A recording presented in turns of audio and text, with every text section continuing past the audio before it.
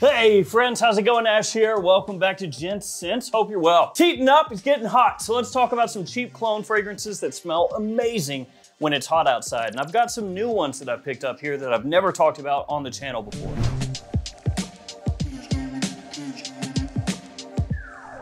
All of these are gonna be linked in the description below. Feel free to check them out down there. And before we hop into the first fragrance, here are some codes you can use across a bunch of different websites to save yourself some money. So if you shop at any of these sites, use those codes, save some cheddar. And there's a new code on fragflex.com. It's GS10. So GS11 for 11% off. That is good on your first order. Anything past that, you're gonna have to use GS10. That's $10 off any order over 99 bucks. So keep that in mind. There's GS10 and 11. All right, let's get it kicked off with this one.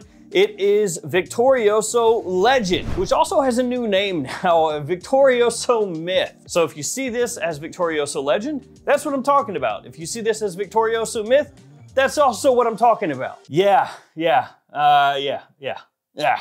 Yeah. So this is Maison Alhambra, which is of course part of Lattafa. Why the different names? Well, because this is a clone of Invictus Legend. Victorioso Legend, Invictus Legend, they had to change the name. And actually, this is something that we've seen happening a little bit more often.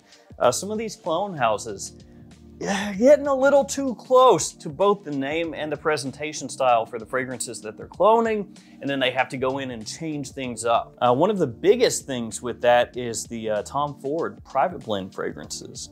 So there have been a lot of name changes with those, and I think there's also going to be presentation changes as well as time goes on. So that's an ongoing thing, and uh, yeah, the same thing happened with Victorioso uh, Victory. Great name, by the way. Yeah, this one, Victorioso Victory. because one bit of victory is not enough. You gotta have two, just uh, with a different type of saying it. Victorioso Victory Victorium. But uh, this is a clone of Invictus Victory, and they changed the name on this one too. So anyway, back to this. This is a clone, as I said, of Invictus Legend, and uh, it is a darn good one. Really, really, really cheap from Joma Shop. Uh, that's where I picked mine up. About $25 is what it goes for now. I think that when I bought it, it was actually like $19.99, so yeah. But this is absurdly good. Very, very, very close to Invictus Legend. It smells great but it doesn't taste great. I don't know what I was expecting there. I think I was expecting it to dissipate quicker. Mmm, delicious. And there's not too much to say about this one other than it is almost spot on to Invictus Legend. Great performance, big attention grabber. It has that sweetness that Invictus Legend has also, so keep that in mind. But I do think that Legend, uh, for my own taste, is much better than the original Invictus, and during summer, it works really well. Just don't go insanely heavy if you're gonna go somewhere where it's really hot outside. You know, it can come across cloying if it's a bit too much. Next up is one that you can't readily find right now in the US, but I'm gonna put you onto it. When this becomes available, it's definitely worth checking out. And it has one of the weirdest presentations. It's this Panache or Panache White from French Avenue slash Fragrance World. Yeah, this, uh, yeah, it looks different. I don't know, it looks like you could pour some tea out of it or maybe like a butter boat or like a, a ship, like a yacht or maybe a starfighter. I don't know, definitely a different look to it. And it does make it a little bit uh, odd when you're trying to spray this. See that? That's a totally natural bottle shape. It feels really natural in the hand. it's just perfect. It's like, ugh. So yeah, presentation style, definitely a bit different, but holy crap, this stuff smells amazing. Like seriously, seriously.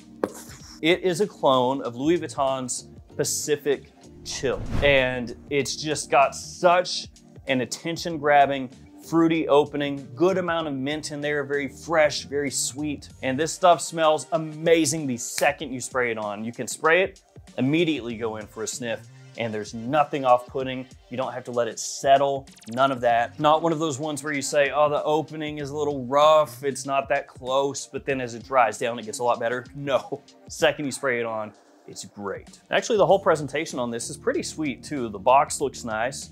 Uh, it just has a very unique shape to it. Like I said, in the US right now, not easy to find that stuff. Uh, you'll find it listed at a couple websites for like the note breakdowns and everything like that. Uh, but it is gonna make its way over here eventually, like they all do. And when it does, if you want that cheap Pacific chill, get that. Then we got Lattafa Liam Blue. And depending on where you look, sometimes this is listed as Liam Blue Shine. The original Liam, or Liam Gray, that one is uh, Gris Charnel by BDK. Not that you would get those confused, but just in case, uh, now you know. So this one has bergamot, rosemary, some marine notes to it. It has a similarity to Acqua di Gio Profondo. And we're talking the original Acqua di Gio Profondo, not the new Acqua di Gio Profondo or the new Acqua di Gio Profondo Parfum. Yeah, Acqua di Gio, just doing its thing. Quality on this one, very nice, super fresh. That little bit of green that it has, just like Profondo, I think smells fantastic. And this is another ultra cheap one. You can find this for like 24, 25 bucks. And the presentation, once again, really nice. Actually comes with a pretty good sized box, like about like this size that kind of opens up. Let's see, what next? Let's do this one. Armaf Magnificent Blue. This is intriguing to me because um, it never really caught on at all. It's about $22, so again, super cheap. And it's a clone of uh, a fragrance or a fragrance line that is enormously popular. Sauvage. So you got a $22 Sauvage clone from Armaf that never caught on. One reason might be because, yes, it's a clone of Sauvage, but which Sauvage? Well, very cool spray. Remember that one? Yeah, which I guess makes sense a little bit in terms of the bottle because it's like a, a, cylinder and very cool spray was as well. But this doesn't have an aerosol type vibe. It's just got a normal atomizer. Why'd I do that? And very cool spray, as you may be aware of. Uh, nah, not the best selling Sauvage. No, that one basically got walked to the edge of the cliff and uh, they were like, hey, a very cool spray. Look at that. Look at that, uh, that drop there. It's pretty high up, huh? You should get closer, get closer. Goodbye, very cool spray. That's essentially what happened. But very cool spray by the essence of what it was, a fresher, pure Sauvage, better suited for summertime for a lot of people than the original because Dior Sauvage Eau de Toilette is pretty strong. It's got big performance, lasts a long time, projects heavily, and if you spray that on really uh, intensely in the middle of summer, uh, might not be the best thing for people around you or yourself. And so, in those situations, a fresher Sauvage would be really appealing to a lot of people because, of course, Dior Sauvage, the top selling men's fragrance in the world, one of the big reasons for that is because people love it. They're drawn to it, they compliment it, it boosts people's confidence, you know. And this gives you very cool spray on a very low budget. Again, about 22 bucks. And just for scientific purposes, looking up very cool spray right now, what it's going for on eBay. And I'm not saying this is what they're selling for, but this is what people are asking. $571 for a bottle. Oh, this one's a much better deal. $300. 481, 329.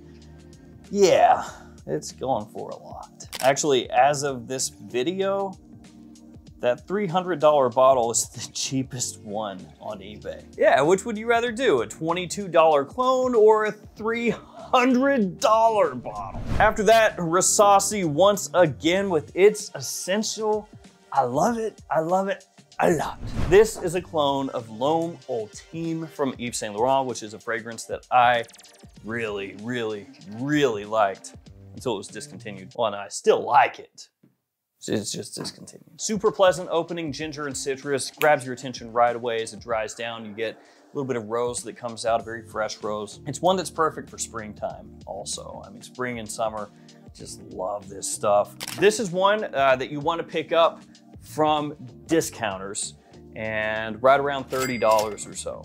Maybe a little less, maybe a little more, uh, but be aware that that's kind of where you want to target, okay? Because this one has sold out sometimes at discounters, and when it does, other places will have it, but they'll be charging you like twice as much, two and a half times as much. Don't do that. I uh, don't pay that much. This is one that I think it smells great, don't get me wrong, but um, if it's consistently available for like 25, 30, then why would you pay 60 or 70? So it's essential. That is L'Homme Ultime. And again, I love the stuff. Next up, we have Imperium from Fragrance World. Uh, this has been out for a while actually, but I didn't pick it up until recently. I placed a big order on Joma Shop and in, in typical Joma Shop fashion, it came divided up in like three packages, which that's just how they roll. Essentially, uh, at Joma Shop, when you buy something, it, it says on there, like in stock now or ships in three to five days or two weeks or whatever. And so when you make a purchase, like I'll buy a bunch of stuff at once, right? Like I'll buy seven, eight things or something like that. Uh, whatever's in stock then will go out.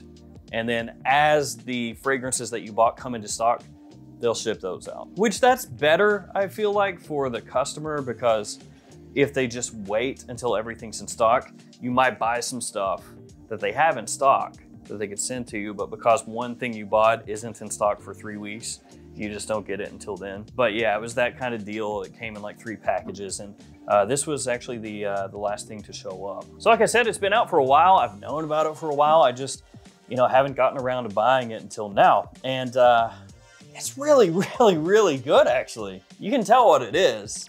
I mean, it's, it's looking at it. Imperium, yeah, with the whole blue bottle and everything. It's Elysium from uh, Roja Parfum, of course.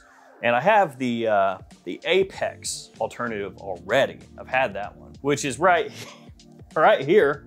Vertex, which is actually a mirror, which is Paris Corner. So that's pretty nuts, isn't it? Just seeing those two side by side, it's like, oh, those have got to be the same brand. They're not. But yeah, anyway, back to this Imperium. This is Elysium. And uh, I sprayed this on yesterday. I wore it yesterday. And I was really, really, really surprised at how good it is. A lot of citrus in there, a little bit of aromatics, just like Elysium. And it smells great off the skin. It really does. Sometimes with uh, clone fragrances, fragrances in general, you'll spray them on the strip and it'll come across amazing like, oh, it's so lively, so brisk, so bright, whatever, talking about the citrus. Then you'll spray it on skin and it'll be very flat and just kind of like, ugh. That doesn't happen with this one. It comes across very close to Elysium for a super cheap price. And you even get a little bottle dupe as well. Look at that, nice little fake crystals, yay. So if you want Elysium on a bargain basement price, get Imperium. This is one of my uh, nicer surprises as far as clone fragrances goes uh, that I've had here recently. Also a nice bit of classiness to it, just like Elysium. I mean, it gets as close as you could possibly get at the price point, you know, in comparison.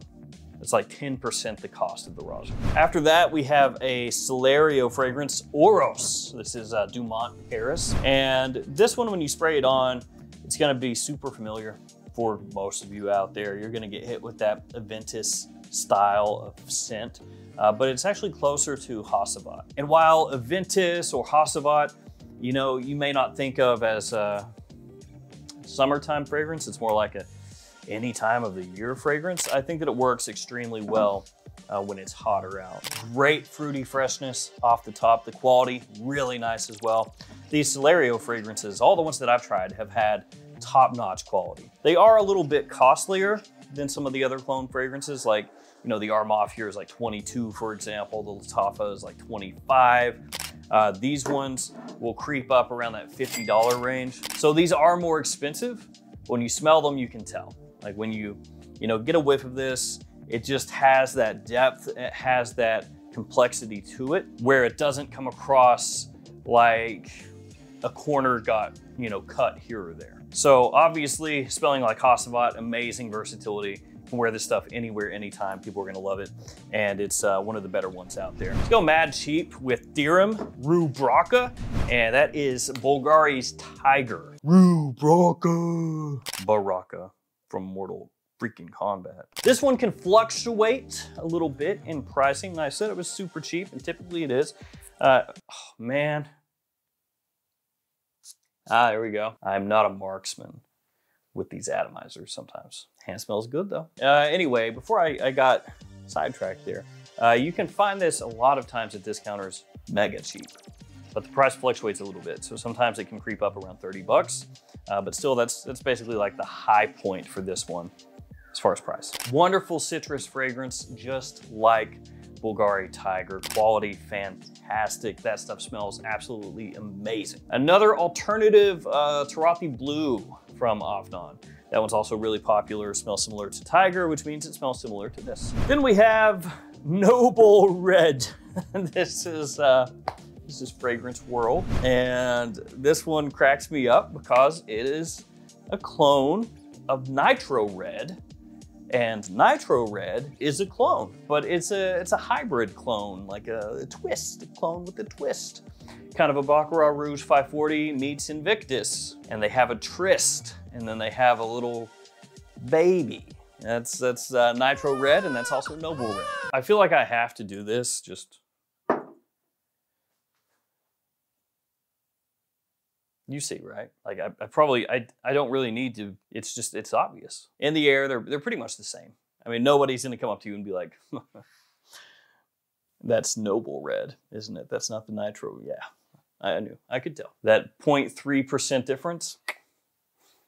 Yeah, easy for me. Nah, it's it's it's the same. So uh, the issue here is nitro red very popular. Like that has blown up in popularity, but that also means that it sells out and then there's none of it. So if that is the case, Noble Red. If Noble Red and Nitro Red are sold out, I don't know. Maybe somebody else comes out with a red fragrance uh, with their choice of word beforehand. Whatever red. Oh, I showed the next thing. Here it is, the last one, Kahila. This is uh, Paris Corner, and in spite of how it looks, uh, this is this is Le Beau. I say that because anybody who sees this bottle with the horse cap, uh, they're probably not thinking, oh, that's a clone of the fragrance with the male torso with the leaf over his junk. I mean, yeah. And also the name, Kahila. But to be fair, they're not gonna have to change uh, their stuff around. Hmm? You had to change your name? Who knows? Maybe you have to change your color of the bottle in the future? I don't know. But um, they don't have to change anything. Good sweetness to this one off the top, really solid amount, but in a very pleasing way. And Le Beau is a fragrance, you know, it seems a little difficult to exactly nail it down when it comes to clones. Because there are a few different Le Beau clones out there, and I don't know that any of them absolutely nail it to the point where it's like, oh, that's that's it.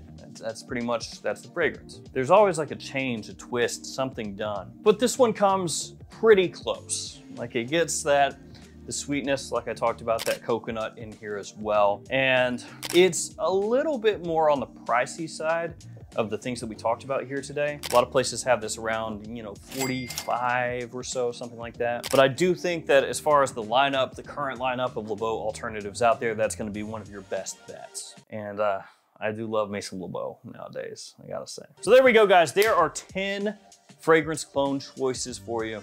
Have you smelling amazing this summer. And again, this one, I know that as of when I'm filming this video, uh, like I said, it's kind of a pain in the butt to try to find it in the US. But when that drops, you gotta check it out. The second that stuff hits a tester strip, hits your skin, amazing. Thank you guys, stay safe out there, see you tomorrow.